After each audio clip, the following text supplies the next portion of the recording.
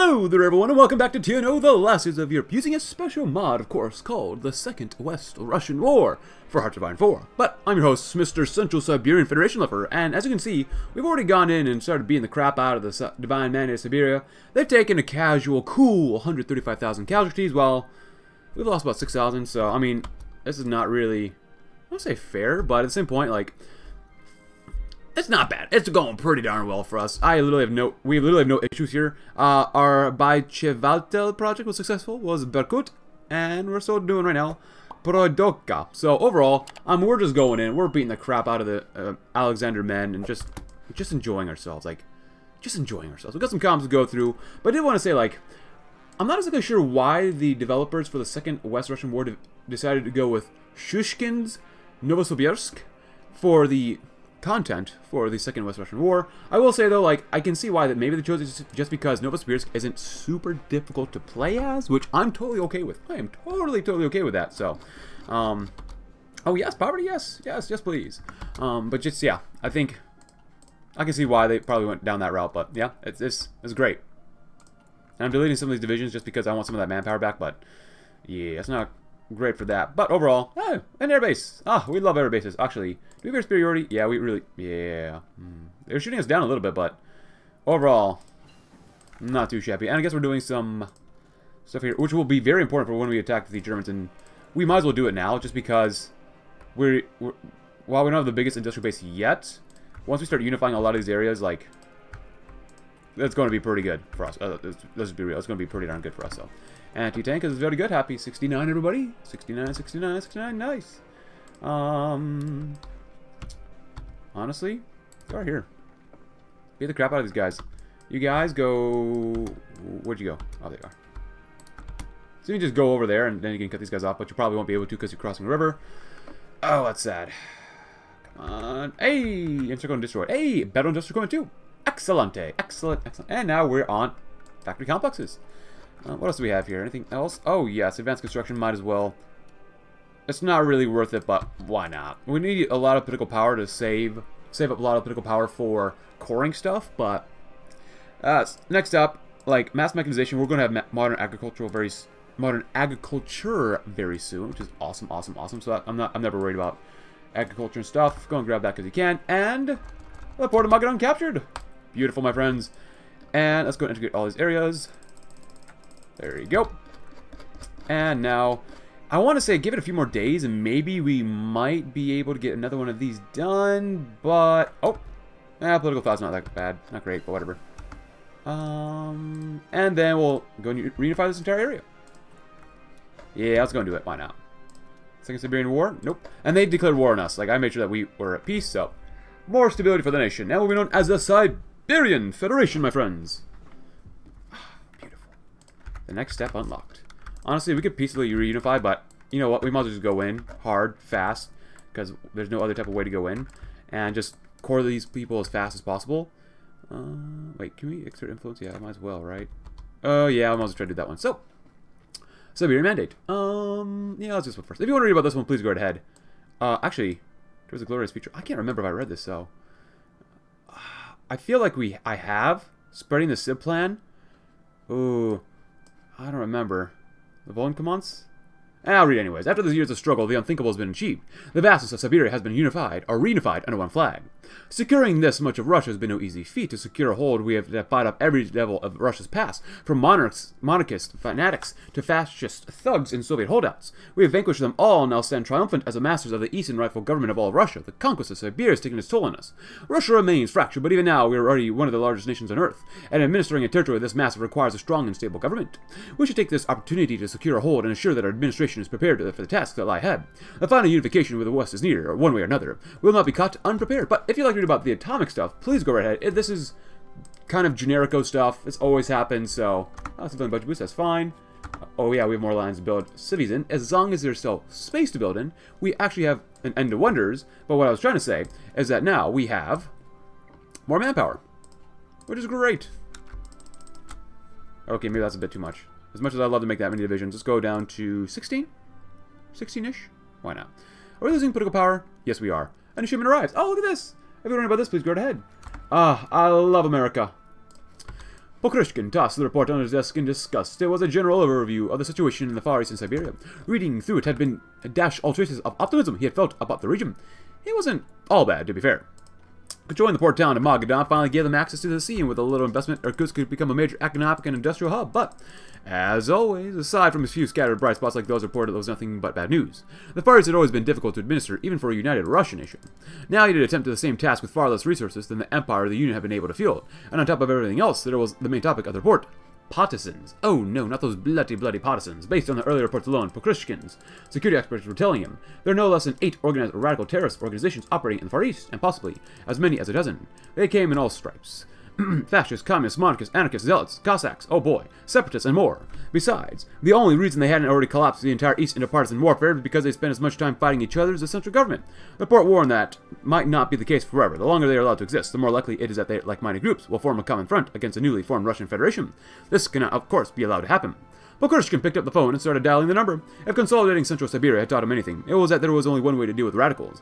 They were so wrapped up in their own meaningless theories and ideologies that they even barely lived in this real world, and that made them too dangerous to tolerate. They would be dragged out of their holes and brought into the light where the people of Russia could see them for what they were, not brave partisans, but desperate terrorists with no place in the new Russia. There's no room for mercy and as you can see, we're building up a lot of land ports here, so... Actually, you go and do this too. It's fine. And let's go back. Let's get some more political power. Let time go on as we are building up more cities. There you go. Nice. Military intervention. We're just gonna go straight in. I don't. I don't want to wait. Give us more consumer goods. Oh, there goes Egypt. Oh, beautiful. Autoclasses in Egypt. Oh no! Reaffirm our commitments. With the uh, sudden expansion of our territory and our associated advance on the world stage, eyes across the world are studying us, watching for our next move to see what it signals. We must show them that we are still the same government they learned to trust. Our impending reunification of Russia has not changed any of our agreements, and we are still happy to do business with the other nations of the world. The acquisition of Russia's longest coastline and several devo developed ports have made the matter to trade much easier. The nations and companies who have already invested in Russia are excitedly offering to expand further operations. Meanwhile, from Tokyo to Washington, we have gained the attention of government and business alike. It's time to double down on our message, and while everyone is watching, Russia is open for business. If you're wondering about Project Prodokia, please go right ahead. They will learn to fear the skies. Oh, great, more attack, air range factor, bomber speed and attack. Awesome. What's not to love? And reaffirm our commitments, of course. Beautiful. Even more divisions. Ah, throw them on, men. Throw on those boys. And if you want, come on, hang out in Kazakhstan, because everyone loves Kazakhstan this time of year. Alright, since we're here, go ahead and do uh, do this one. Get more output. Get more factories in the state. We have a port that we're not going to use, except for convoys. Awesome. And we need way more tanks. APCs are fine. Uh, artillery is looking actually pretty bad, so we need more of that. And, and this is looking fine too. Go to 5. Actually, go to 10. Go to 10. But put you underneath the tanks. Tokyo standoff, very nice. Oh! And we have the political power for us, so we're going to do this one first. Uh, research facilities. And then we'll do that one because I want academic base next. Uh, establish close facilities. Might as well. Follow it up with consolidate new territories. It's almost impossible to explain how vast and sparsely populated Siberia is. Outside of a few urban centers like Irkutsk and Novosibirsk, it's millions of square kilometers of wilderness and scattered villages. This is especially true of the newly integrated eastern provinces. Even the Tsars and Soviets can never fully extended their administrations over this region, and the eastern warlords never came close to matching what they did accomplish. The task of integrating this territory has been left to us. The urban centers of the east will form a nucleus of a new administrative web that will cover all of eastern Siberia. Every town and village, every isolated hamlet, all of them will be assigned to districts and administrative regions, each with having administrators and politicians appointed to oversee and represent them within our government. No more will the Far East be an isolated backwater forgotten by the Russian government. It's an integral part of the Russian nation, and it'll be treated, of course, as such. Yes, good, good, good, good, good. And go in whenever we can.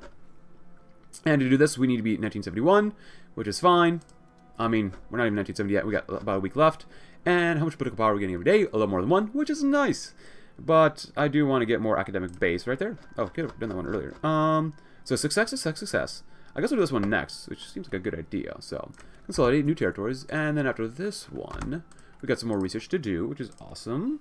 Happy 1970, everybody. It's almost 1970. I might as well say that now, from here on out. Um, yes, Artie, yes. Good. I love the Artie. So after this one, we'll probably do a foundation for research for even more, more research facility growth. Are we at war now? Ah, Kazakh Soviet Socialist Republic. I do apologize if I'm just speaking very fast. I'm just, I'm a little excited for this. I want to see what the new content's like, so. And I'm sure you are as well. We need more manpower. Holy crap. There you go. Do the best you can. That's all I ask. Do the best you can. Wow, we are blitzing through their buttholes. Holy crap. Holy smoky fathers. I don't know how smoky fathers are, but root out the remnants. The Russian people are grateful to have a strong democratic government ruling over the Middle West, but there are still a few troublemakers who wish to overthrow us. These various extremists, whether they be fascists or communists or anarchists or monarchists, are all unified by the hatred for our government.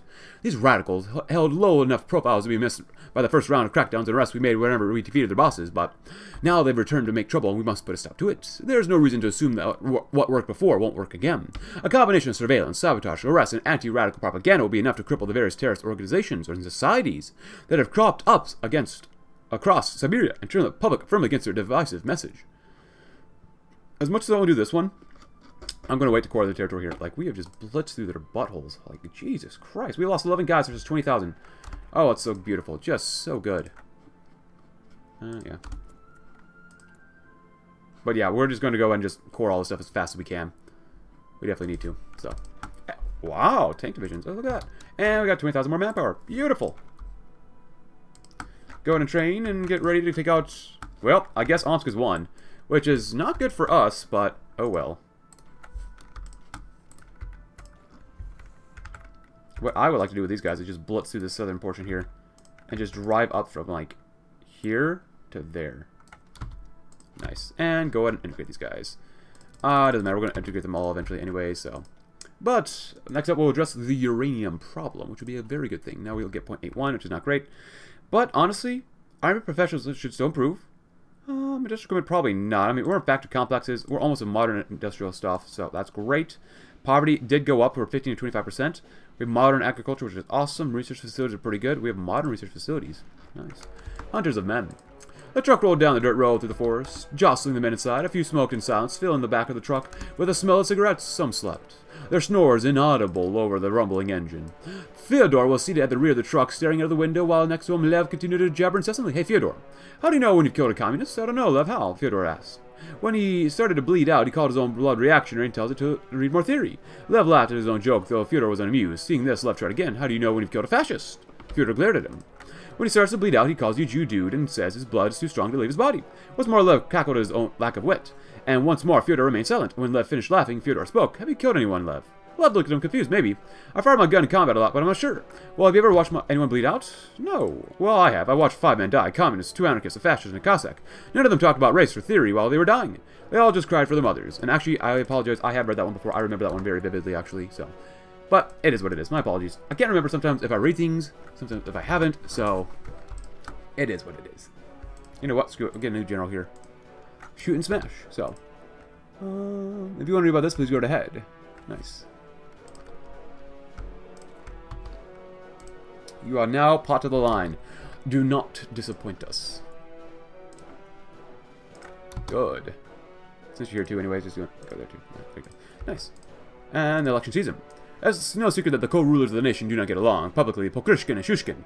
Present a united front, but it is well known that they have agreed on little for years. The two men have been able to set aside their differences, and cooperate up until now, but with the recent acquisition of the eastern Siberia and the prospect of national reunification growing greater by the day, their disagreements have become too great to ignore. The co-rulers have agreed that the only way to settle this is to let the Russian people decide. If you want to read about this, the last gasp, please go right ahead.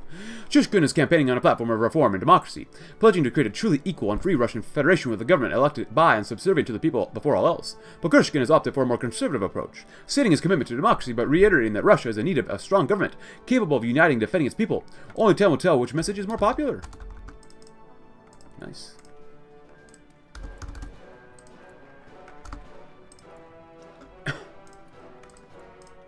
nice. Election season, my friends, and then we'll go with uh, this one, yeah. Expand Siberian mines, might as well, right? Partisan activity decreases. If you want to read about that, please go ahead. The campaign continues. Nice a federal election. Um, since I've already read this one before, I'm pretty sure. Um, I can't remember if I read it or not, but please go right ahead if you like to read that. But we're going to go to Shushkin because we can. Oh, crap, we need political power, don't we? I can't remember this. Oh, look at, look at his face. Yeah, sorry, Polkrishkin, but I've already put the other dude on the thumbnail. Shushkin, a little bit, a little bit. Um, appeal to the common people by a moderate amount. Hold a speech in Bonn. I'll talk to sympathetic officers. I kind of do that one.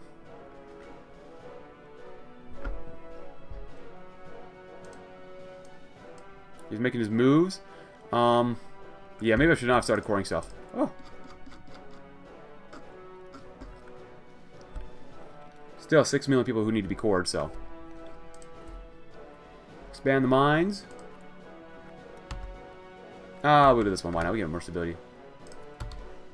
Oh, wow. That's a big jump. Not bad. Looking pretty good already. And then we'll do source 4 material. Which would be good.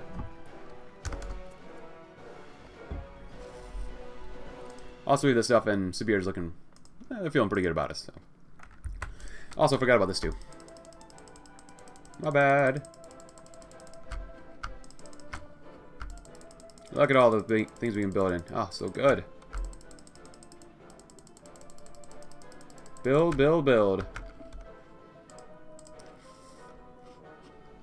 And then infrastructure too. I like that we will get Central Asia once we uh, unify all the rest of Russia, so. Um, honestly, it's so good. We're going to win anyways, probably, but you never know, but still. I do want to do this one. If you want to read about this one, please go ahead. Time to find out where the military stands.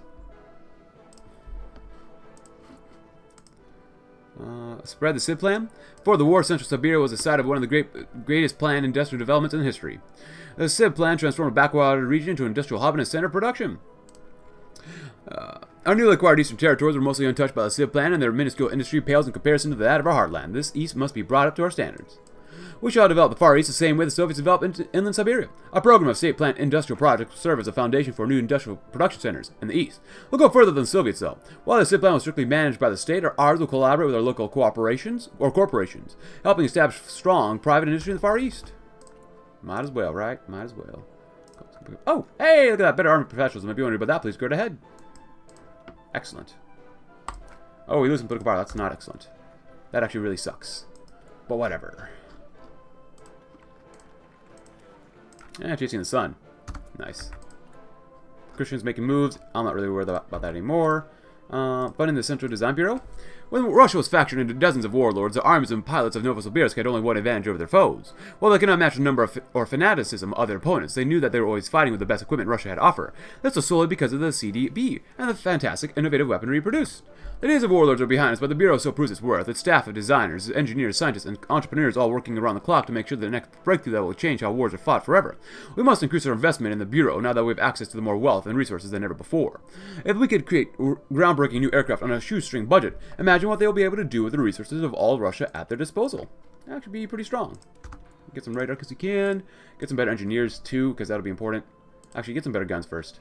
Ah, uh, no, I lied. Denounce corruption. Chase the sun. Nice. National priority projects. It's clear everywhere we look at that Russia's rebuilding. Shops are opening, vacant buildings are being filled, and new ones are being built. Shelves are fully stocked for the first time ever, and the people are going back to work, but there's still much to do. We have come far, but there's still a long way to go before Russia's fully ready to retake its place in the modern global stage. It's our duty as a motherland's government to help her get there. To assist the recovery and rebuilding efforts, four programs have been selected for government funding and support, dubbed the National Priority Projects by the media. They focus on improving public health, access to education, housing availability and quality, and agricultural developments. By supporting improvements in these four vital areas, we're pro uh, progressing towards a point where Russia is not just reunified, but rebuilt and prosperous at best. Or at least. Really, at least. Nice. We love the oil crisis. Oh, I think we'll do appeal to the common people again. I think that'll be good. Expand the uh, Volkomats. Controlling Siberia and the people who live in it has always been a challenge for the past Russian governments, and no doubt be a challenge for us as well. This is made no easier by the fact that eastern Siberia is now crawling with ex-military men who fought for one leader or one another that now find themselves with nothing to do but grow bitter and resentful for our new rule. These men could be dangerous, but they also present an opportunity. Uh, the Volkomats, our system of military commissariats, have proven successful in maintaining our control of the nation and keeping extremist organizations on the run. Expanding the system to encompass new territory would help lock down the east, recruiting disaffected army officers, black shirts, and NKVD agents into the Volkomat will give us a new way to put the skills of these unpleasant people to work for us while placing them directly, firmly, under our control. Nice.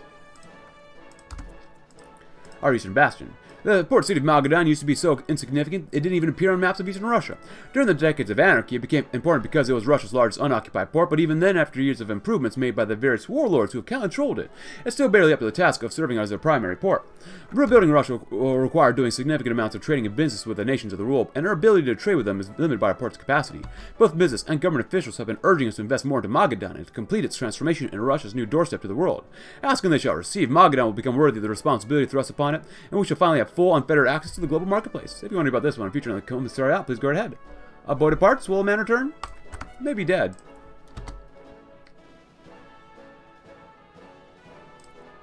Nice. A disciplined force. Our military is one of the best in Russia. Our unification, reunification of Siberia is proof enough of that for anyone. But being the best in Russia does not mean we're ready to take on the world. For so far, our military has fought bandits and warlords and semi-industrialized rival regional rivals. But we've yet to take on a full, modern, and war-ready military power considering the dangerous state of the world. We may have to sooner do that than we'd like. The technological gap between our forces and those of the Germans and Japanese is shrinking due to the heroic efforts of our design bureaus, but technology alone does not make a modern army. It does not matter how good the gun is if the man is too afraid to fire it. Our army is not a disorganized rabble, but its discipline still leaves room for improvements. We'll see that these improvements are made and our men are refined into hardened warriors ready for the conflicts ahead. And if you want to report a profit, please go right ahead. Boom! Nice. Uh, you go. Yeah, we got a lot of improvement upon here still, so. Oh boy, election results. I wonder what they're going to be like. But towards a glorious future. To the Russian, to be Russian these days is to watch destiny unfold before your eyes. It is to see a nation rising from the ashes like a phoenix, born from the most unlikely of embers. No one could have guessed an ace pilot leading a ragtag band of military men and disaffected loyal politicians would establish the next government of Russia. Who would have guessed a warlord army operating out of Novosibirsk would reunite the entirety of eastern Russia against all odds? Oh, look at this. Uh, uh, Uh, against all odds, the Federation has persisted, and now stands strong with the final victory of drawing near. To be Russian these days is to stand at the middle point of a long, long road. Behind you, you are decade, decades of suffering and violence that have been overcome. Ahead lies great uncertainty and the potential for conflict to pull, put all of our hardships of the past to shame, but there's also the potential for something brighter, something better. Russia has come so far so quickly. The only thing left to do is keep pushing forwards to whatever lies at the end of the road. But if you like about writer's music, please go ahead. The people had spoken and they wanted Pokryshkin out. Democracy breathes.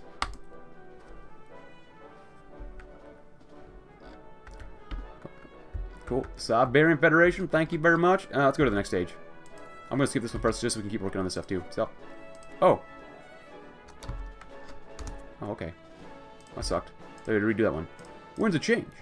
The people have spoken and the will is clear. After years of rule, Alexander Pokryshkin has finally tasted defeat at the ballot box, and Vasily Shushkin has been elected to lead the Federation towards to a new, brighter future. Shushkin and his supporters have announced plans for a new, bold wave of liberalization and reforms that they say will finally bring freedom and democracy to all of Russia. While Shushkin's supporters are celebrating his victory, those who back Pokryshkin's continued rule are already voicing their concerns. The leaders of the military have expressed reservations about a weakening of the central government, and the boards of Russia's new mega corporations expect it will be much more difficult to deal with a government that is truly beholden to the interests of the people. Let them complain all they like, they should be the first tyrants to fall before the might of a free Russia, but definitely not the last. If you want to read about commissary training, please go right ahead.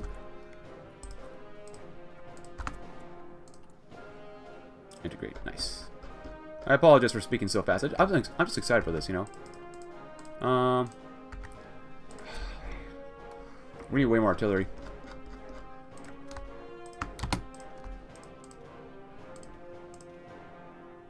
I'm not going to use transport helicopters for this campaign, so I don't want to see them. Good, good, good. And then, Demokratizatsiya? Shushkin's victory is a triumph for the cause of Russian freedom, but it's only the first step on the road towards democracy. But Pokryshkin and his toadies spent years building up their powers and doing their darnest to turn Russia into a one-party state once more. Undoing their efforts will take time, we must begin with small reforms to prepare the nation for the great changes it has in store. Soon the government will launch a new initiative called Demokratizia, democratization. Starting at the local level, the people of Russia will now be able to elect their leaders and representatives. Once a sufficient permanent election structure is in place, we'll be able to organize regularly scheduled elections at last. Other early reforms will include passing term limits uh, and preparing to implement a separation of powers amongst the various departments of the government. The winds have changed. Nice. And then we'll do this one next and then curb the corporations. A new piece of legislation has been introduced recently that will put in place some token limitations on the activities of the corporations. The limits are trivial at best and mostly have to do with implementing the bare minimum of government oversight to stock trading, but the proposed law also has attracted significant attention from the people and the corporations for one reason. It used to be the case that legislation like this would be shot down immediately before ever going to a vote, but this is no longer the case. President Shushkin will place his full support behind this law and encourage his supporters to do the same. On paper, it really is little more than a token effort, but it'll signal to the whole nation that Shushkin is no crony of the corporations. Or, yeah, corporations. We may not be able to end their influence right away, but we can make it clear to the world that the days of the Russian companies exploiting Russian people for foreign money will soon be over. Well, we'll see. And let's do this one. It's been a while since we've done this one, so. Well, it looks like we've cored everything that we can. I didn't cut down military spending, so military, this is, we're spending a lot of money. I'll be honest, we're spending a lot of money here.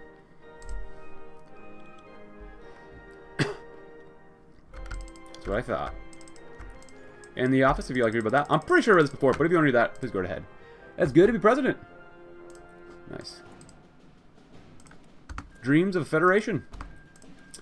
Well, it was originally conceived, the Russian Federation was supposed to be Russia's best chance at democracy. The idealism of the Central Siberian Republic was always doomed to be a failure, but the Federation could, pro could provide a practicable, a reasonable alternative that would reunite the Russian lands and peoples and secure a future defined by freedom and stability. What it morphed into under Pokryshkin's rule was a dutified, authoritarian limitation or imitation of the original goal, but the damage can still be undone. Surely, slowly, the people of Russia are starting to wake up. They're realizing that this new president's promises are not false and his words are not empty. The Russian Federation can really be a nation of practical democracy rather than corrupt authoritarianism. After decades of bitter winters, spring is coming to the motherland. The Almaty Airborne. Nice. So we gotta wait for this stuff anyway, so... Um, monthly development's probably good to do, so... Since we're gonna be here for a while, we are really gonna be here for a while. And industry's looking pretty good. Hey, we have a thousand manpower. Never mind. There you go. Oh, we can prepare for the unification war? Ah, uh, we can't do it peacefully, darn it. That sucks. Oh, they're still fighting Samar, though. Anybody read about, like to read about a Falcon and a Rider, please go right ahead. The goal is to attack them before uh, they finish their war with each other, so.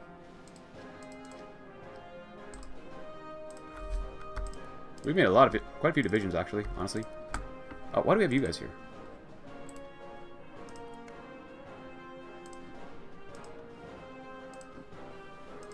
Nice. Better engineers. This is for the future when we fight the Germans, so... Just gotta be ready for it. That's all.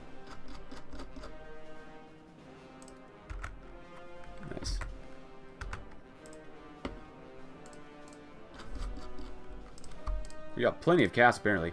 And there goes Samara. Cool. What I would like to see is if we could fight them. Cold days? Eh, Soviet, no one cares. Um, oh, I don't have God dang it. Yeah. There you go. Uh, is that they can't core their stuff fast enough so that we can just beat the crap out of them, maybe? I would love to see that. Develop mining techniques, might as well.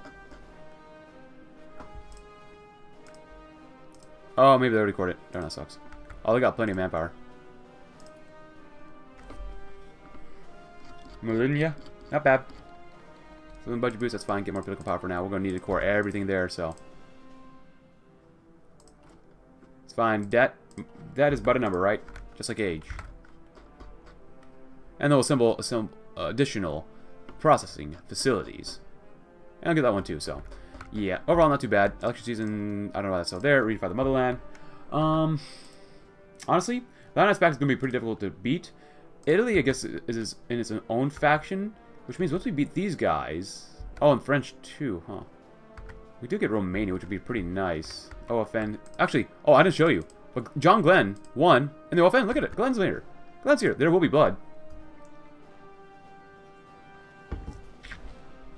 The Glenn presidency. Please, Glenn, shoot for the shoot for the moon and then shoot for the Mars, please. For the Mars, Mars, please, please, please, please. I'd love to see that, man. And do that too. Nice. Keep building yourselves up because this episode we are building, building, building, building, building. Omsk is not going to be the final enemy we fight, even though we have no manpower right now. Don't ask questions. Um, 28 divisions is not bad. Hopefully they don't have an air force. I'm hoping that they don't have an air force. They got tons of fuel like us. They have about a million. We have roughly a million too. Oh, we actually got them decrypted. Oh, we need to keep doing this too, though It's not bad. I'd love to become a spy master. Uh, I don't think we'll be able to get... Oh, yeah, we did get that one done. Definitely do Germany. We're not going to get any of these done now, but whatever. Oh, look at that manpower. Yay. We have a little bit of manpower, which is nice. You guys looking A-okay. Uh, these motorized are not bad. They're only 20 combo width, but still. We can make them bigger, though. Bigger, better, stronger. Because if you're not using 40 combo by the time you get to this stage, like, you might as well not even try. Because AI definitely is using 40 combo as well. Change this to uh, motorized. Go. It's going to cost more tanks, but whatever. Giving them armor is super helpful sometimes. The primary schooling. This, de definitely got to go up, right? Oh, uh, we'll actually get more research speed, factory output, and cap. Want to get there, so it's nice. Strike. Yeah, go and strike it. Not, I don't want to wait. Our Air Force should be good enough. Should be. Should be. Should be. Unification of Russia. Preparedness 80%. We'll get this one done hopefully first. Oh, never mind. That's a lot of days. Nice. Actually...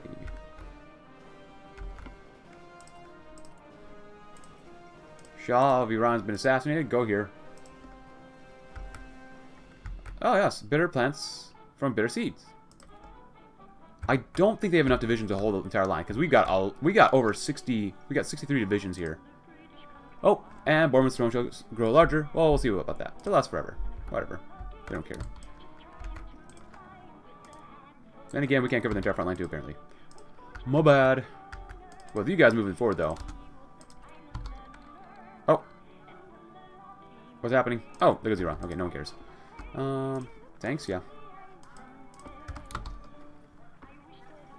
The Iranian Civil War. Can we send any volunteers if we're not at war? I don't think we can.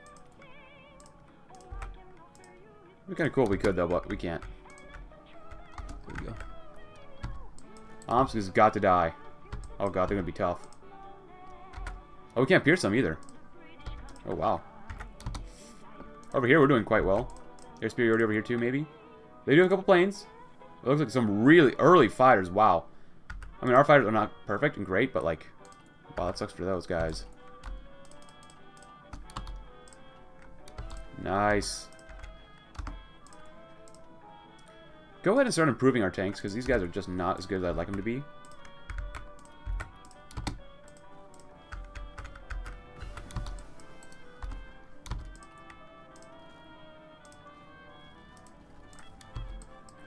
We cut them off from the capital, that would be... Oh, I guess we took the capital. Okay. Oh, these guys will all die then. That's good. That's really good. Nice. Losses. Wow, 76,000. That's insane to think about already. But once we core these guys, like this will give us a lot more manpower. Once these guys are gone, it's going to be not over, but like it's going to be a lot better for us. 100,000. Yeah, I mean, Omsk is not easy. We've almost got half a million of them, though. that's great. I can't imagine them recovering from that too much, but then again, eh, they have about 100,000 left. That's not bad. Still 20, they still have 20 divisions after they deleted all those other guys. Not bad.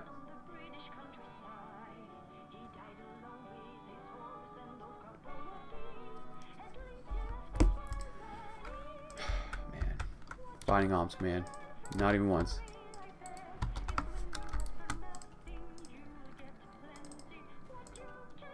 Come on. I clicked on it. I clicked on it. There you go. Now it's better. How did you not win? Hold on. What the hell is wrong with you? There you go, you ding-dongs.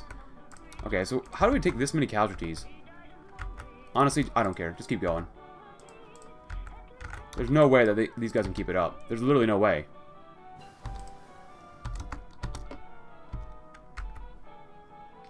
I mean, it's really painful for us too, but still.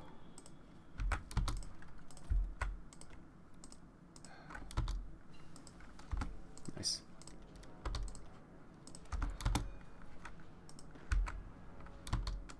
Alright, if you want to fail that hard, then we're going to stop attacking for now because we need more manpower.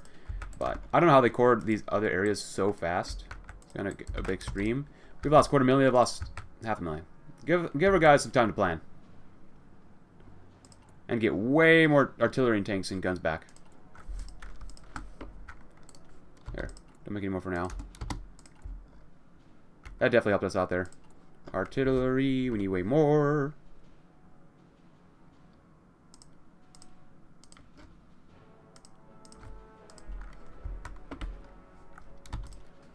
You got one too many, huh? Cool. You general.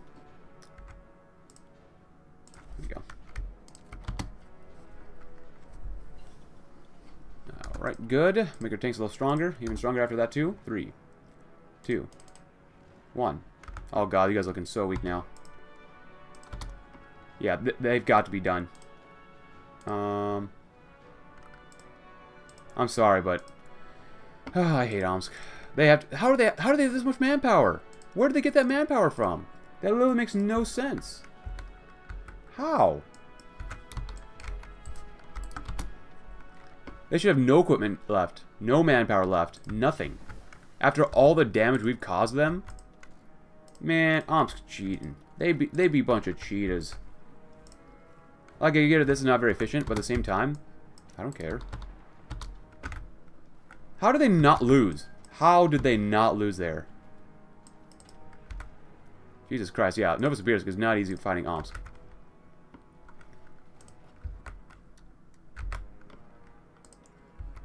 Seven hundred thousand dead, and it's still not enough. Like this is this is extreme grind fest.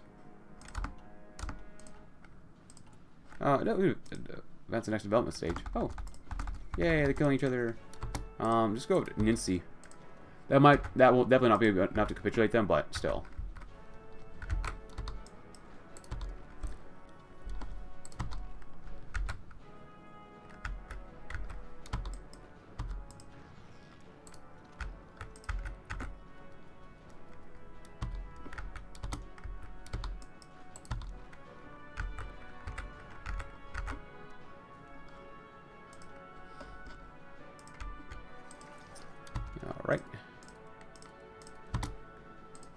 Get nukes one way or another. If it costs half a million of us to kill off a million of them, so be it.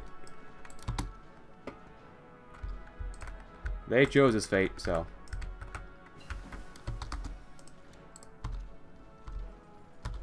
My god.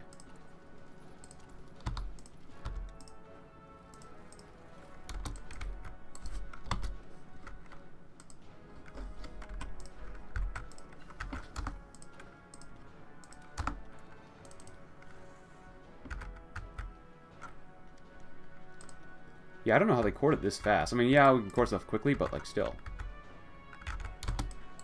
We're good to the core makes sense. It makes a lot of sense. Can't really complain about that one. But I can find a way to complain about it no matter what.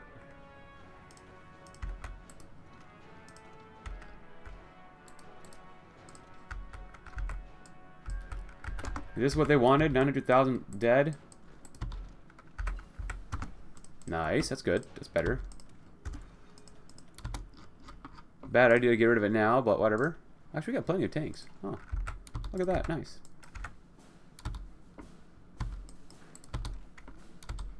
You should easily be able to beat these guys up. Easy, easy, easy street.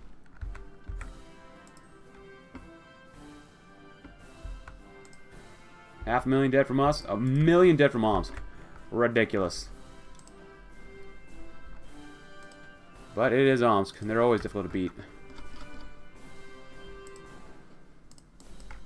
Go, go, go. Well, this is good for Army XP. Can't wait to get some more manpower back, though. Ukhta.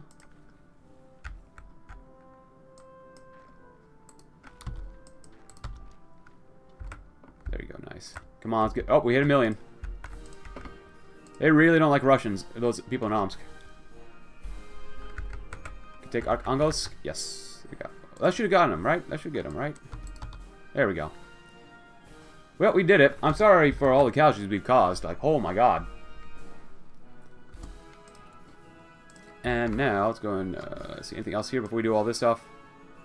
Cool.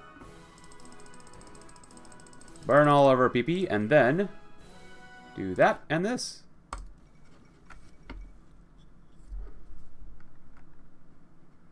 United and free.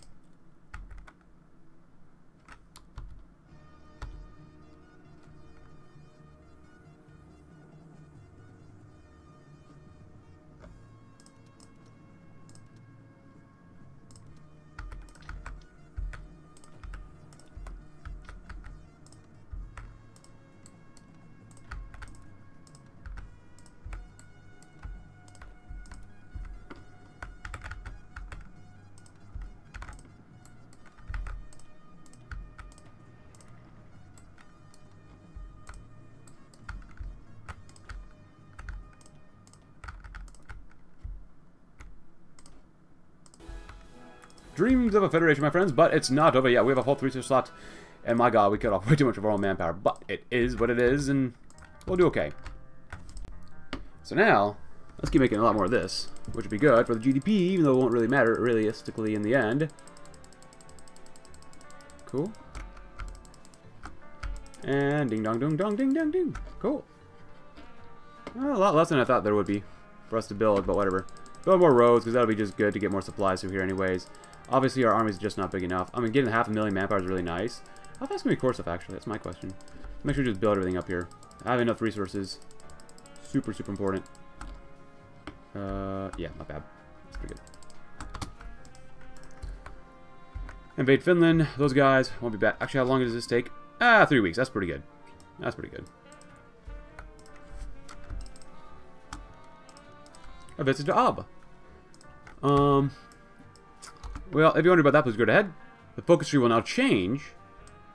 And now, this should begin the new content for us uh, for this campaign. Let's get some flamethrowers next. And, oh, look at this. Ooh, the Federation of Hope. After decades of chaos and despair, Hope has finally emerged as the Federation's finally united Russia. From an oligarchical warlord state in the middle of the central Siberia to become a rapidly liberalizing de democratic federation under the careful guidance of the Federation's second president, Vasily Shushkin. Although we stand united, there's much work that still needs to be done for both the nation and the people before we can begin to look beyond the borders of our native borders towards the west, back to Moscow in which up next we'll do National Reformation. Before we can begin the liberation of the rest of our motherland, there were several promises made by the President during his campaign, promises that must be kept. While reforms have been made, it has become clear that the more decision decisive action is needed to fully transform the Federation into a democratized state. In order to fulfill his promises, the President has begun a process he has named the National Reformation, a series of political, social, and economic reforms designed to transform the Federation and lead the Russian people towards the promised Russian dream. A new federation, Vasily Shushkin sat at his desk. Novosibirsk was much colder than Barnaul. It was larger, louder, and much busier too.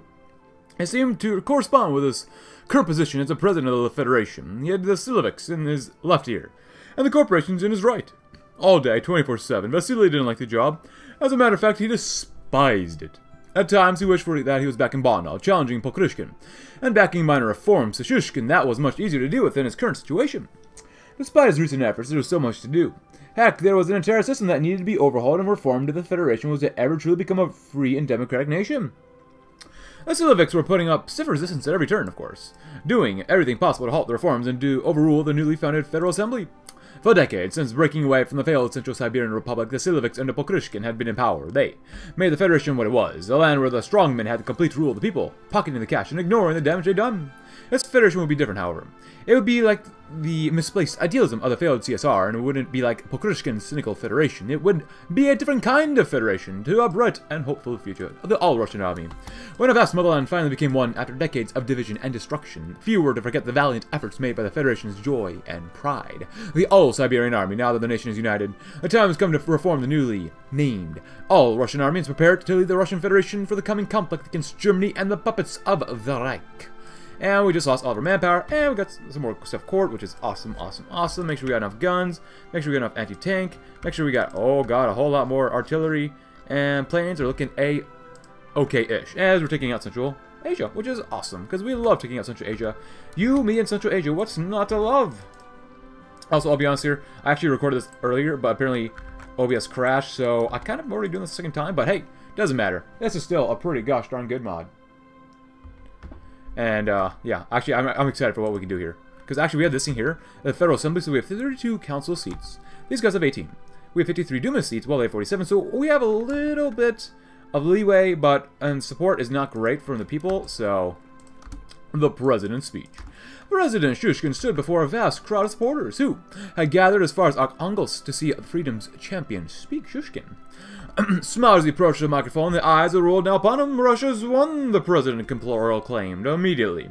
The crowd erupted in cheers and celebration. It was almost hard to believe it. Our people, once so submissive and broken in in an age of warlordism, now proud and hopeful of the days ahead. Soon the crowd fell back into silence as the president spoke again.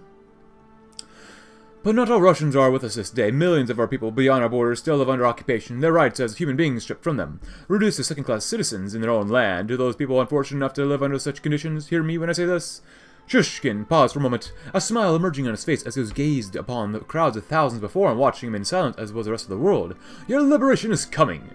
The crowd cheered wildly. Shushkin looked forward towards the skies, basking in the sunlight and the cool air. He felt it. The winds had changed in the afternoon breeze. Things were different now, and the world knew it. For the liberation of all Russians. And we're going to expand the Central Design Bureau to get another research slot. Look at that.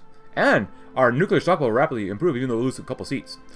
One major lesson we can take from the Great Patriotic War is that Russia was technologically behind, and did that make the advancements required to beat them back to the borders. This failed to modernize cost the former USSR everything. The Federation must be the instrument of change in Russia. We need to modernize society, and our forces to reach technological superiority the superpowers enjoy. By expanding funding to the Central Design Bureau, we can overcome our shortcomings and finally achieve modernity. But reforming the all-Russian army. And actually, since we're here anyways, uh, some of y'all just go that way, please. Thank you. Come again. Despite the numerous victories of the Federation over the various warlords in its quest to reunify the motherland, a mere army of a warlord will forever pale in comparison to the might of a superpower. Many within high command naively believe that the all-Russian army in its current state can easily repel the Teutons. From the west, Shushkin does not share this sentiment, however. He does see an army not quite up to the standards of most modern militaries. The Navy is incapable of defending the Bering Sea from the Kriegsmarine, and most importantly, the Russian Air Force is completely outmatched by the Luftwaffe on both quality and, of course, quantity. to match up to the Germans in the upcoming unification wars. The only solution is the rapid modernization and reformation of our Federation's armed forces. There's still much to do to achieve ah, perfection. As recording more stuff, of course. Um, let's go ahead and do constitutional reforms. Why not? While the president's earlier reforms, though if you wonder about the success, please go right ahead. But while the president's earlier reforms to strengthen our efforts of liberalizing the Federation, we, if we can't replace the Soviet Constitution that has reigned over the Federation since its inception, our efforts could be easily undone with nothing more than a signature of a future president. That's a dangerous issue the Federation can't risk, of course. No president, reformist or not, should have permitted or be permitted to have this much executive power over the government and people. President Shushkin, after some convincing, understands the issue with this fact has promised to allow the process of creating a new constitu uh, constitution, new constitution, to move forward without any interference from him or his administration. Also, uh, I didn't... Oh, we can't invade Finland. Oh, we're done here. Nice. You know what? Let's go insane with the Finns. Call up every single division here. And we're going to smash the crap out of the Finns like there's no tomorrow. I want them all gone. So, yeah. We'll definitely go over the war Finns. Also, I didn't show you this, but we can go here, click for interactions, and we can get some more stuff for the State Duma, uh, majority in Federal Council, get more presidential support, which we'll need. Um, oh, wait. If you spend 100, you get... Oh, basically double, huh? By one and two, huh? The ultimate deterrence. Shushkin's eyes scan the vast steppe from within the comfort of the president's car, looking upon the vast plains of the motherland with wonder. Soon, Shushkin had arrived at his destination. A top secret facility just north of Tomsk, exiting the car. The president was approached by two men, one cloaked in a lab coat and the other fully dressed in a military uniform. Uh, president Shushkin, we're glad you arrived. Please follow us. Vasily followed the man to the facility, guarded by two all-Russian army soldiers. The trio went down an elevator and entered a silo with a nuclear, large nuclear weapon in the center. The key to Russia becoming a giant once more, although the president had been informed on the progress of the Russian nuclear program. To see the weapon himself gave him equal measures of both awe and, of course, horror. The officer began to speak. This is, as you know, is Malinia. This, along with along with the many other weapons being constructed, will help close the distance between the Federation and the superpowers. The rider slowly approached the missile, placing a hand on the side of the weapon, a slight smile forming on his face as he looked upon the strength of the Federation, sword of the motherland. Since we're here, we're going to need more State Duma seats, so... Oh, we don't have enough political power. Well, we gotta wait. So we need more State Duma seats, so we're gonna wait to get political power first. Before we record anything else, which sucks, but whatever. It is what it is.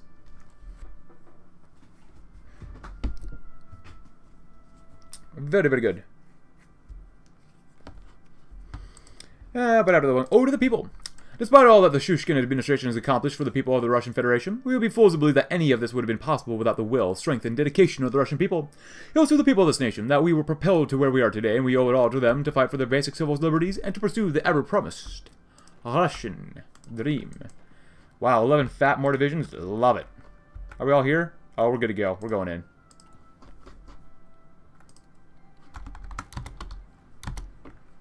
So before we, so 18, we have 89 divisions, nice. They've already lost 4,000 people. It's not enough, obviously, but still. Ah, good. Get some flamethrowers soon, too, as well. That'd be awesome, awesome, awesome. Any more divisions? Yo, yes, please. No wonder we have no manpower. A long night, ignoring the incessant noise of the ringing telephone that was most definitely Pokryshkin wanting to give him a piece of his mind. Shushkin was half asleep as he read one of the last few untouched papers on his messy desk regarding his latest act, which was about constitutional reform. The president hastily flipped through the lengthy document, scribbling his signature rather untidily at the bottom. He had received a tsunami, a request after announcing that he would do his best to assist minor political uh, parties in whatever way possible, and had taken him an all-nighter to get through the papers.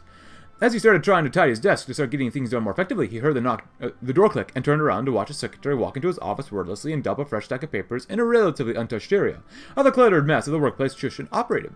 His secretary stared at the half-dead president and offered him a pitiful look before leaving. Shushkin groaned inwardly, reaching over to his empty coffee mug and shakily getting up to refill it.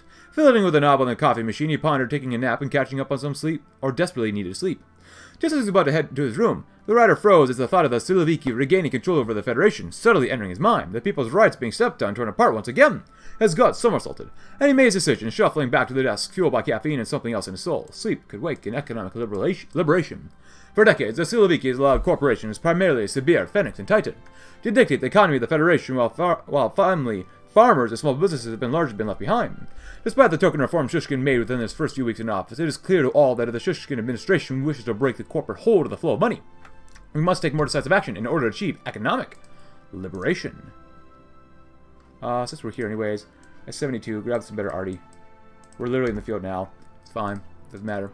And okay, here. And let's do this. As much as I want to core more stuff, um, we need it. Yeah, we're to need more in the State Duma. The Federation Council's fine. State Duma, though, you betcha. Because we need enough State Duma support to actually pass this and do focuses, so... It is what it is. Idolism. Nico leaned on his desk. Uh, let's focus solely on the radios. Oh, if you wonder about better research facilities, please go ahead. Solely on the radio he had inherited from his late father. His father had been a Red Army soldier who served under Voroshilov during the West Russian War, a full-fledged communist who had perished during the West Russian Unification Wars. Nico, on the other hand, had grown to idolize Vasily Shushkin, the president of the Russian Federation. Since the fall of Arkhangels, uh, had been supporting the man who had fought for the liberty of all Russians from the forces of tyranny, battling the Siloviki in the halls of the Federal Assembly, and challenging the Germans of the West. He'd never forget the speech that the president had made following the proclamation of the Russian Federation. Russia is one were the words the young boy would never, ever forget. Soon the song played on his father's old radio faded away and the announcer began to speak. We hope you've enjoyed another brilliant song from Russia's rising star, Eduard Artemyev. Now, from his home in Novosibirsk, President Shushkin will be giving a speech in regards to proposed bill that will reform the rights of the Federation's workers for the better, the voice of the radio Arkhangels announced. Nico leaned in closer with a smile on his face as the voice of the President flickered through the speakers. Russia's best hope speaks. Your voice matters, a toast to our farmers? The Working Man Act. After this one, support small businesses. It's been a long time since the era of small business in Russia, although they exist in the Federation. They're overshadowed by the large corporations and are struggling to compete in an economy that heavily favors the corporations. In order to put the corporations in their place and pave the way for prosperity, we must support the growth of new small businesses across the Federation, especially in the newly integrated West, under the Podium scheme. Many struggling small businesses will be eligible for subsidies. We will show the business owners of the Federation that the government is on their side going forward. Uh, I don't want to cut, so... Oh, and this thing up here tells you you, can, you have political power to spend over here, so... Not bad. How are we doing in Finland? We've lost 700 versus 35,000, which is not good enough yet, but whatever. Yeah, the tanks were really beaten up last time.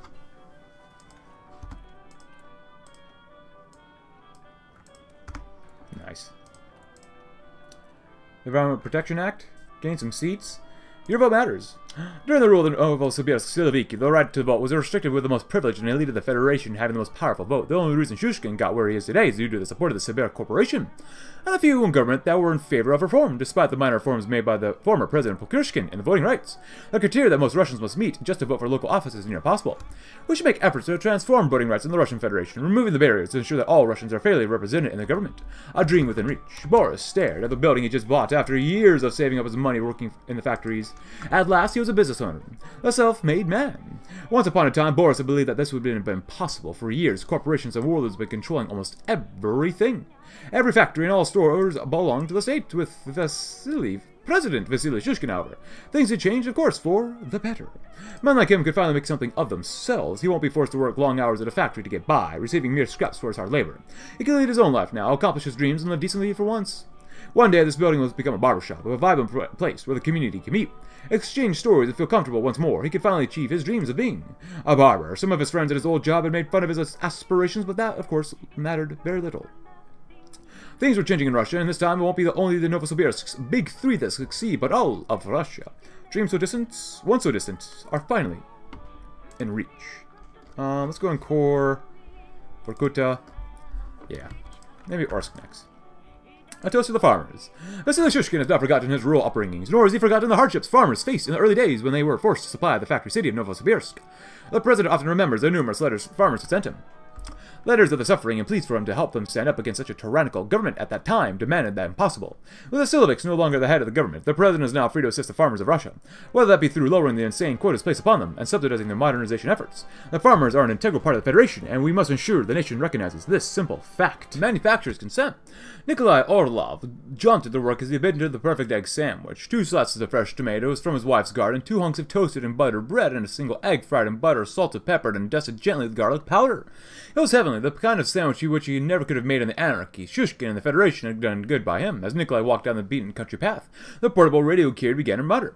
Brothers and sisters of Western Siberia, the advertisement began. When you march to the polls this election day, vote for prosperity and patriotism. Vote for the pro-business policies we need to rebuild our home. Vote Alexei Novikov.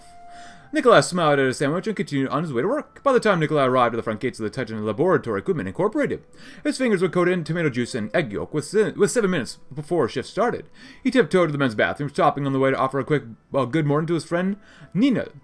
God guy but kind, as Nikolai scrubbed his callous hands under a stream of cool water, dozens of posters emblazoned with the flag of the Federation loomed behind him. A vote for Novikov is a vote for Moscow. One shot of prosperity and freedom.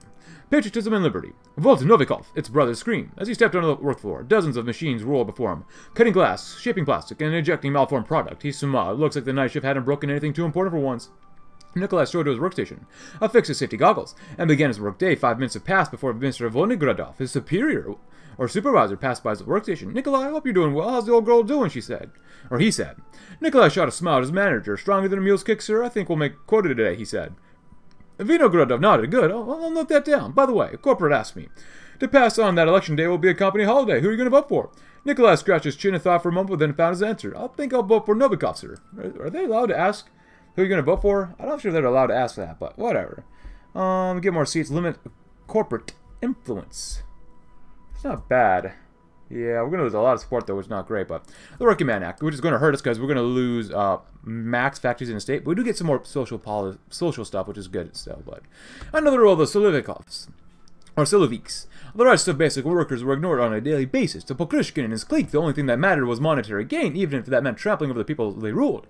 In the early 60s, this disregard was enough to push them over to a more radical sectors of society, such as a radical Narodniki, Narodniki leading to a workers' uprising that almost broke the Federation. Even today, the workers still second to the dollar. All that ends with the passing of this bill. Soon enough, the hard-working people of the Federation will be given the workplace protections they do deserve. Oh, absolutely. Thank you, thank you. And more factories? Very nice. So what are we missing? Uh, we actually have plenty of artillery. Look at that. We actually put we have more than enough stuff already. I don't believe you. I'll get more tanks just in case, and when we're done, get get a lot more fighters. Yeah, we're going to get a lot of fighters. But a toast to our farmers, and since we're here anyways. So 51, we barely have enough state uh, state Duma seats. So, State Duma, we'll do it one more time. Just so we get we have a little bit more protection there. The Rookie. We'll lose four seats in the State Duma and two in the Federal Council, so we got to keep an eye on that. But since we're here, we're going to go ahead and do it Zlatoust. Because we can. And so we're going to lose a lot of support. The previous president. I do want to do that one, though. Uh, Vasily Shushkin, friend of the farmers, ally of the workers, champion of the people. In these few short weeks, the president and the reformists have proven through our recent social reform that the president is indeed a man of the people. The people's president, the people of Russia can count on the president and the reformers to do what is right. Together, the Federation marches forth, moving ever closer to achieving the promised Russian dream. Man, we get like no political power, which sucks. This sucks so much. How's this looking? Yeah, it's looking not too bad. Oh boy. The Working Man Act changes for the better.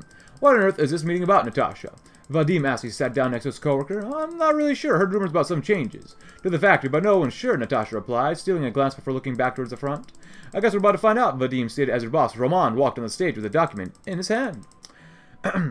The workers watched as Roman examined the document for a moment before turning his attention to his employees. Hello all, I'm sure you're wondering why I brought you here today. So I won't beat around the bush. The Federal Assembly has just passed new reforms in regards to the workers, the rights of workers in the Federation, he explained.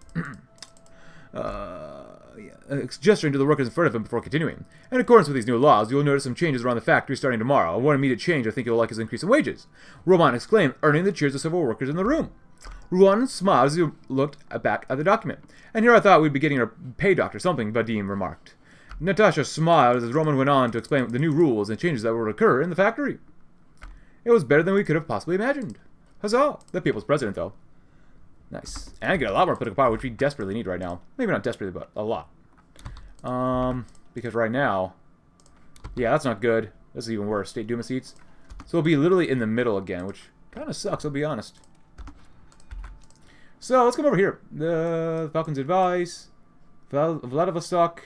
Getting over here would be really good for to help army professionalism, but the failings of Bukharin. What would have been otherwise would have been an effective economic plan that would have seen the former Soviet Union rise from the ashes of civil war and ensure prosperity among the Soviet people. It was ultimately botched by the leader of the USSR, Nikolai Bukharin. Although his failures as a leader saw the breakdown of the Soviet economy and the loss of our nation's western holdings, there is still much to learn from the former Russian leader. After all, failure can be one of life's greatest teachers. Ah, mechanical ballistic computers. Yummy. And just trying to make sure our tanks are just, just perfect. Just perfection. Um, I do want to core one more thing here first. Uh, how much manpower does this place have? Not that much. If anything, I do want to core mag. You guys don't have a lot of population here. Yeah, not nearly as much. Um, Kyrgyzstan, Tajikistan. This should have millions of people here. Yeah, yeah. oh yeah. Tashkent, the Tashkent one's really good at core. Bukhara?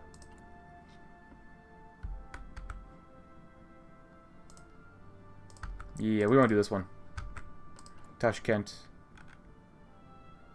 Uzbekistan. Oh, that'd be very good to core. Oh, my goodness. But let's come over here. And the people's president. They tolerate us for now, which is fine, but we need more State Duma seats. Yes. Homecoming.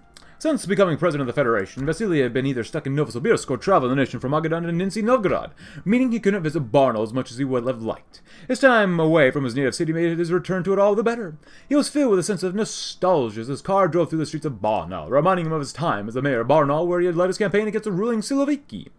now here he stood triumphant. He had returned as a president. Despite the time away from the city, the reception he received from Barnaul's natives certainly did not change as thousands of people lined the sidewalks to greet their beloved president. Shushkin waved to them all as he passed with a smile on his face. So many across Russia put their faith into him by doing the right thing. To do the right thing by them. To deliver on his promises of freedom and democracy for all Russians. And he aimed to deliver on that promise. Soon enough, Vasily found himself whisked away from his thoughts and was soon enough on a stage before a large crowd of thousands who had come to see the president after his time away from Barnaul. Shushkin smiled as he cleared his throat and looked to the people as he'd come to love over these long years. Good people of Barnaul, it's good to be home! Individual... Ooh, the Industrial Renaissance. We get more GDP growth? Ooh... That looks really quite good. The reunification of Russia under the rule of the Federation has brought forth hundreds of international investors. Now, new businesses are opening every day with thousands of new jobs daily. Business confidence in Russia has never been so, so high. The Russian economy, or economy is back on the global stage, rising higher than ever, and we must take the necessary steps to ensure that our eco economic and industrial foundations can maintain our economic momentum to the top of the global market.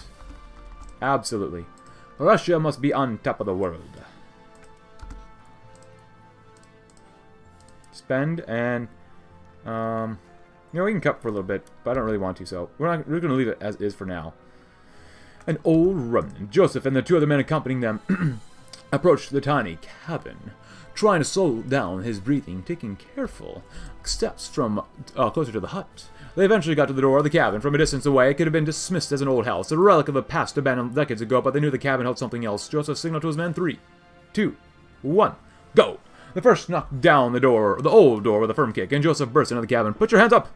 Under the orders of President Shushkin, you are under... The voice's man trailed off as his eyes focused on an old man on a rickety chair. The shell of the man that was once Nikolai Bukharin had been admiring. An old frame photograph when he heard the noise and slowly turned around to face his would-be captors. Those sad, worn eyes weren't those same ones burning with the ideological fire Joseph had served under so long ago. Bukharin slowly got to his feet, prepared to face judgment for the rest for the role he had played in destroying Russia, although Joseph had had thought. He prepared himself mentally. He couldn't stop the emotion from flowing on his face as he stared at the former Soviet leader he had once loyally served. He would never forget how he had wasted his youth fighting for a cause that was never meant to be. He felt his pistol slip out of his hand and land on the floor with a soft thump. His fingers suddenly numb. Joseph held back tears as he stared at the man who had failed Russia in the eyes, choking out Nikolai Bukharin. You are under arrest. The two others stood obediently by his side with the guns at the ready, clearly expecting the former premier of the Soviet Union to put up a fight, to go out with one final bang. He did not, though. Bukharin picked up his framed photo and stared at it one last time, wiping away the dust that had gathered over his former friends' and enemies' faces. Before setting it down on the table, he shuffled over to the men, a resigned look in his sad eyes. This was his fate. All of his ruin was his fault. All this ruin, ruin was his fault. there was no one else to blame but him. He deserved whatever it was to come. Joseph escorted his former leader to the truck outside, sitting down on the passenger seat. As he made the call to inform his superiors of the catch, he heard the only two words from Nikolai Bukharin, the ones who had doomed Russia all those years ago. I'm sorry. Nice. Good. Rebuild. Oh my gosh. Rebuild the Volga Basin factories. Holy crap. That's really strong.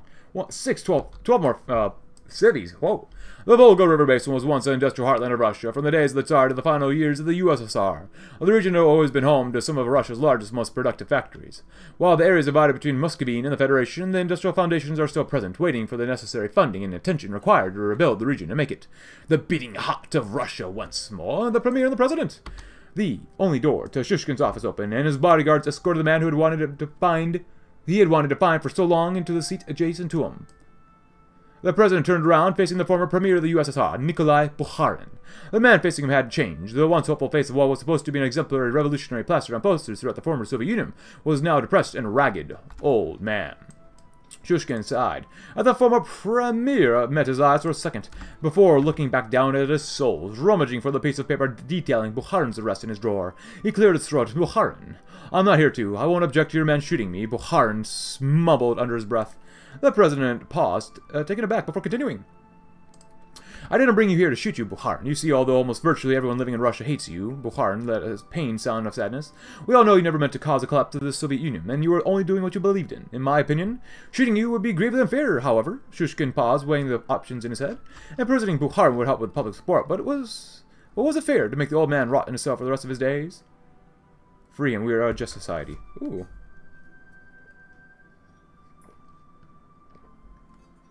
Was it fair to make the old man rot in his cell for the rest of his days?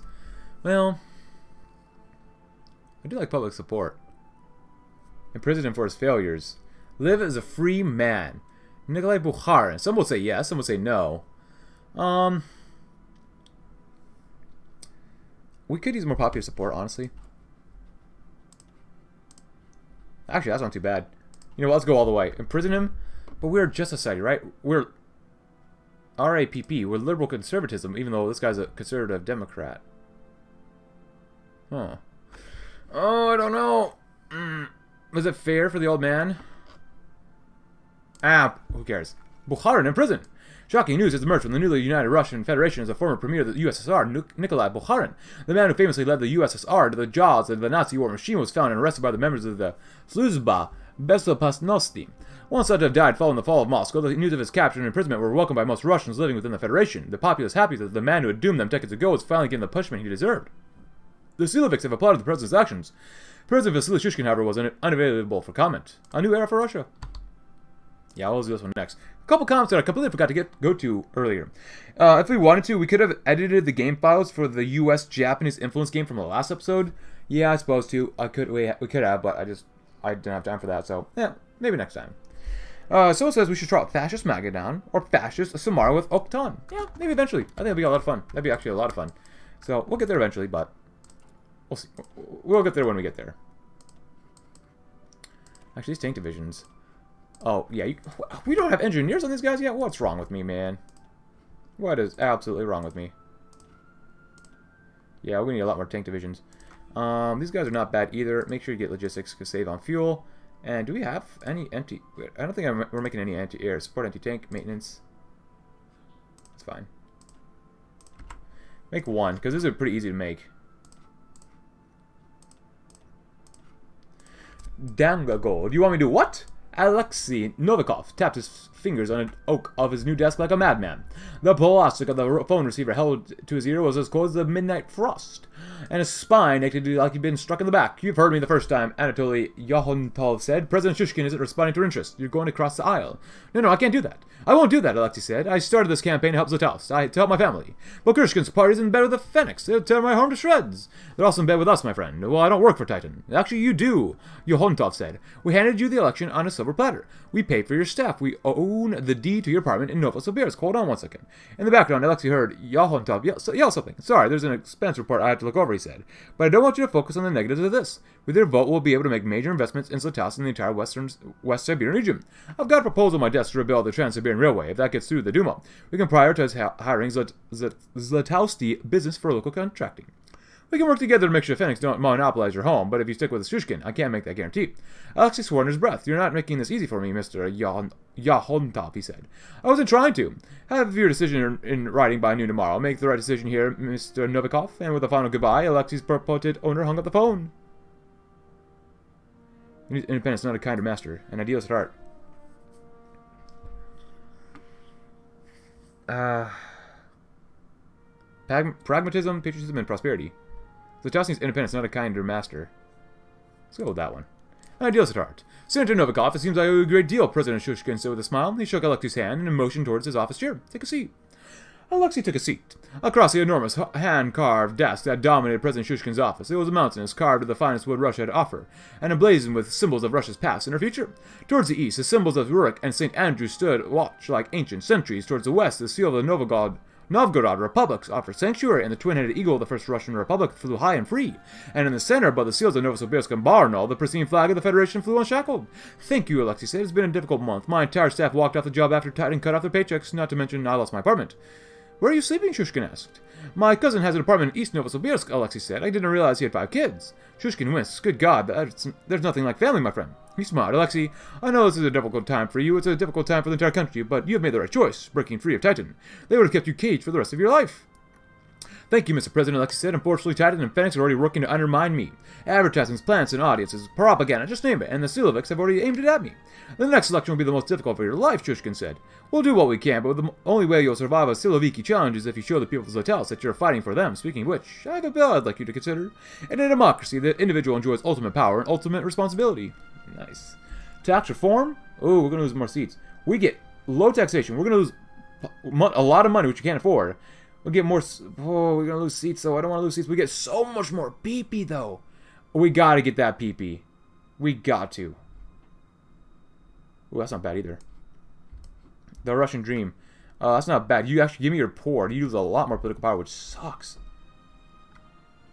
Oh, we're gonna lose political power here. God dang it. Yeah, unfortunately, we're gonna lose some money. I'd rather lose money and get more political power. So, Ta federal tax reform. Although the Federation has maintained a moderate policy of taxation since the nation broke away from the CSR, the people of Western Russia who have lived in a constant state of war and poverty are unable to make enough money to pay taxes on top of other necessities such as food and water.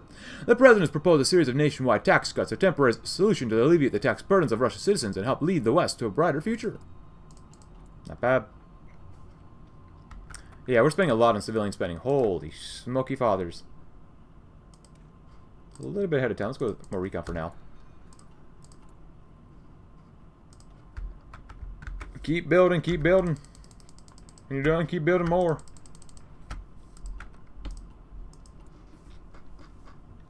Uh, let's go to the next next phase two. Hey, if you want to improve academic base, please go right ahead.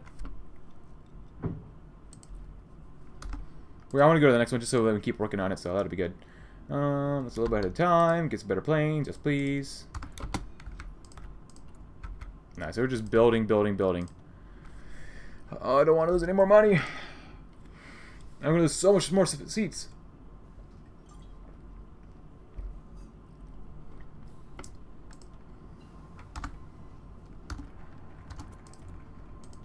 A new Samara.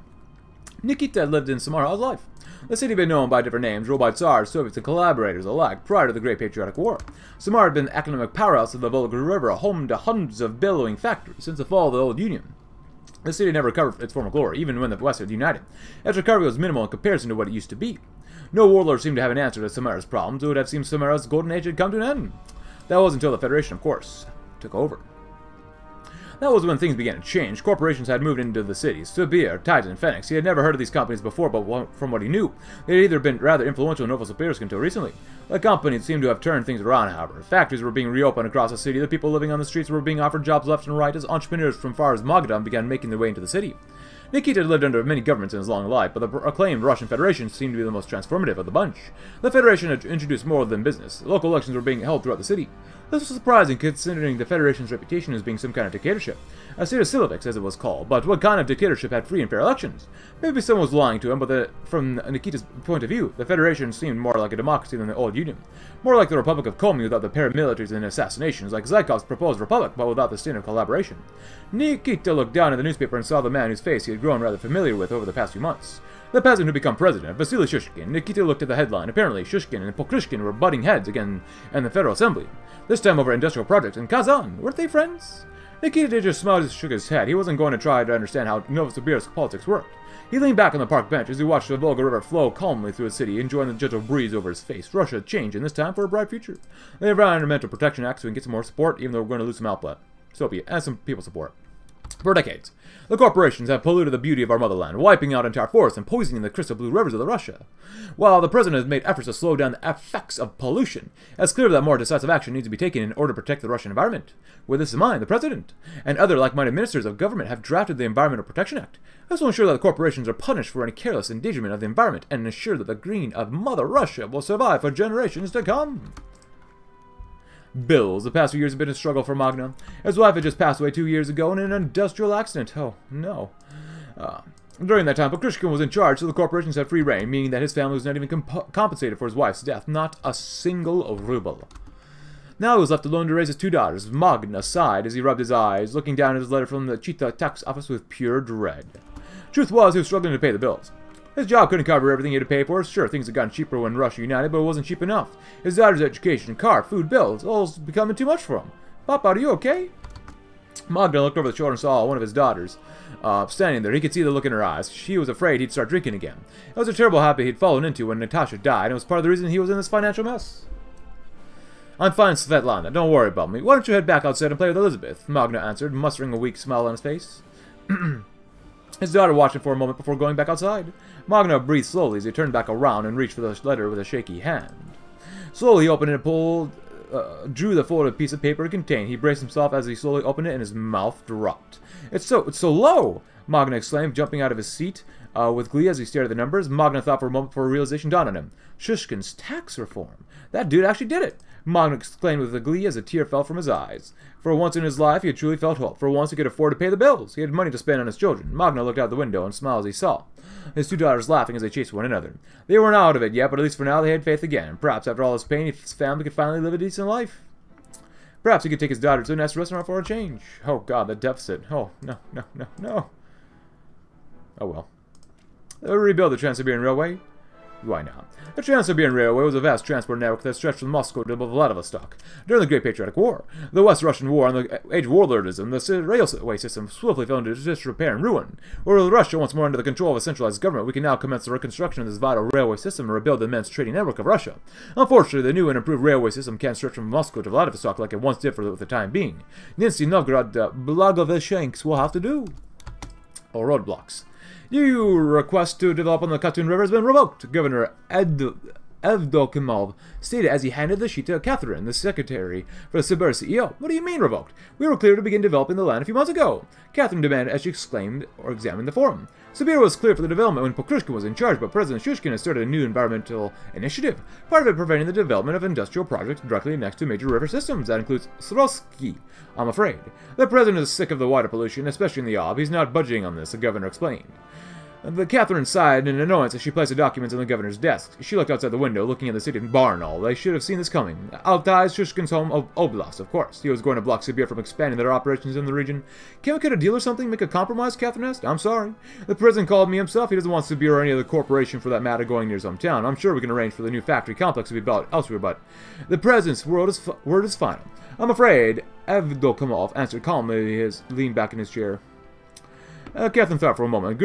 Gregory, or not Gregory, Georgi, wasn't going to be happy about the development in Srostki being cancelled, but perhaps Sibir could still find a way to expand its role in the Altai Oblast. Alright, Governor, what are Sibir's options? It's actually not bad. Um, why can't we do this other stuff then? Oh, the people must be supportive of us. With this one... Oh, that sucks. Uh, I don't know if there's any more seats. Well, it looks like we gotta make concessions.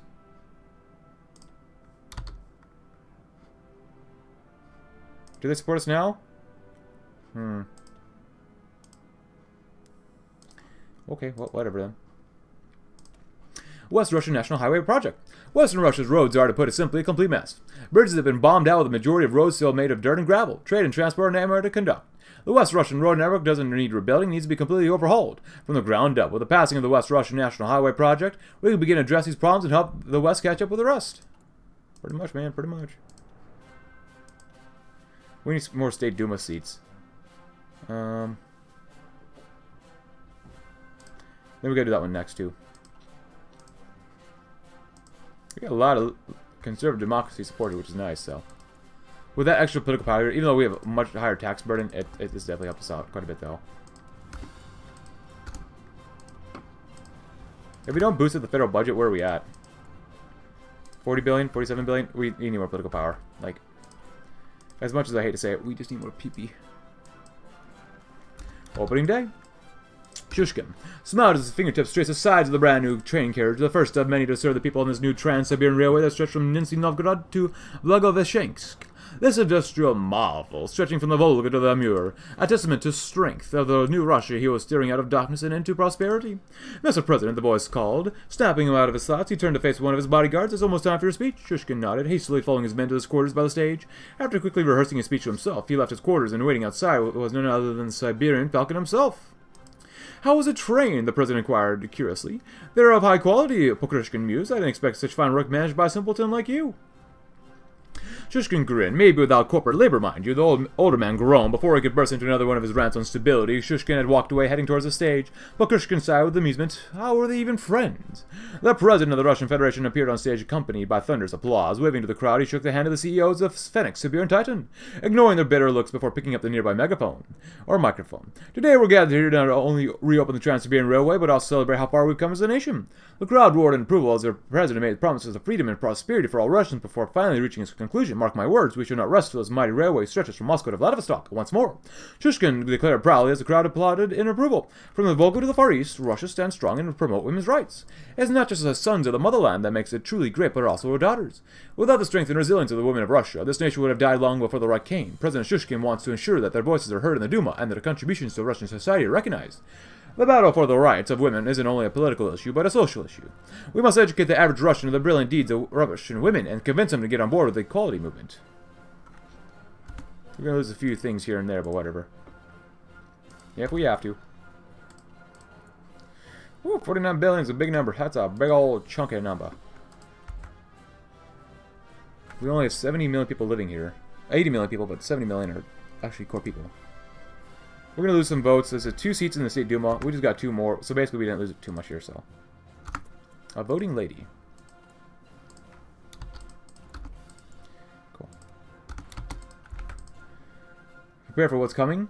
The limit corporate influence. A new federal constitution. Why not? Oh, actually, no, I don't lose political power. I'd rather lose seats here first.